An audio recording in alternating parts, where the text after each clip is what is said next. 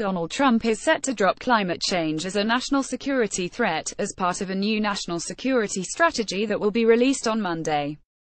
In a speech that is expected to prioritize the president's America First security blueprint, the threat of climate change will be downplayed in a sharp change of tack from the Obama administration, which emphasized it as one of the biggest threats facing the U.S. reporting Trump's plans to reverse the Obama-era policy that included climate change as a national security threat. The Federalist quoted the document as saying, U.S. leadership is indispensable to countering an anti-growth energy agenda that is detrimental to U.S. economic and energy security interests.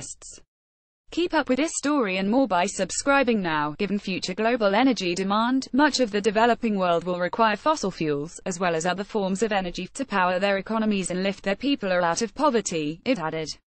An early draft of the strategy, seen by the Associated Press, complained the U.S. had disadvantaged itself by being involved in multinational agreements such as those working toward combating climate change.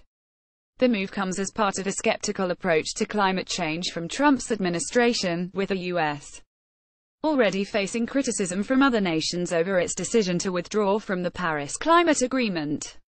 Announcing his decision on the pact, which made the U.S. the only country not signed up to the agreement that aims to prevent global temperatures from rising 2 degrees Celsius above pre-industrial levels. In an effort to prevent the worst effects of climate change, Trump suggested he made the decision to protect the U.S economy, the Paris Accord will undermine our economy, and it puts us at a permanent disadvantage.